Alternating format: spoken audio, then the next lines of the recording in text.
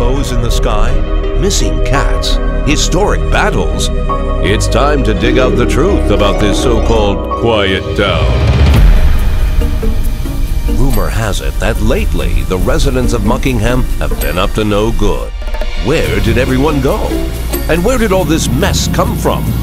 What have these mischievous neighbors been up to? Some people are going to need a telling off. Wait a second. What's my car doing here?